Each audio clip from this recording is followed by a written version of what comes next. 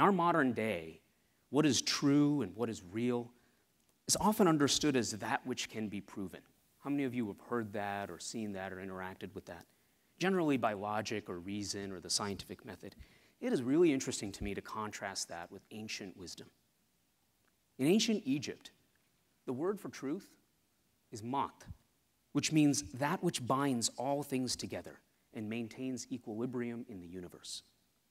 In Sanskrit, the word for truth is satyam, which means that which supports or sustains our very existence. In my native tongue of Tamil, one of the oldest languages in the world, the word for truth is unmai. It's what you find when you look inside something. In other words, not just what you see on the outside, but the sort of unseen, intangible essence of something.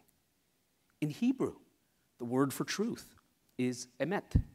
It's a word that is composed of three letters one at the beginning, one roughly in the middle, and one at the very end of the Hebrew alphabet if read from right to left.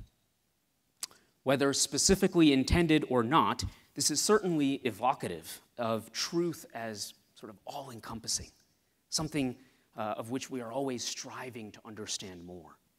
We've gone from these weighty and even inspiring notions of truth to that which we can see with our eyes and prove by our logic.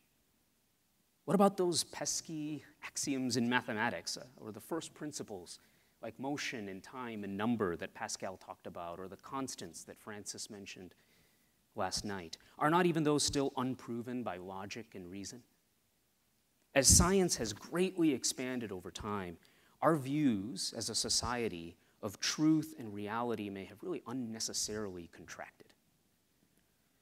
And this, this is not a lesson that leads us directly to God by any means, but I believe it does break down the barriers that would otherwise prevent someone from considering a deeper spiritual reality.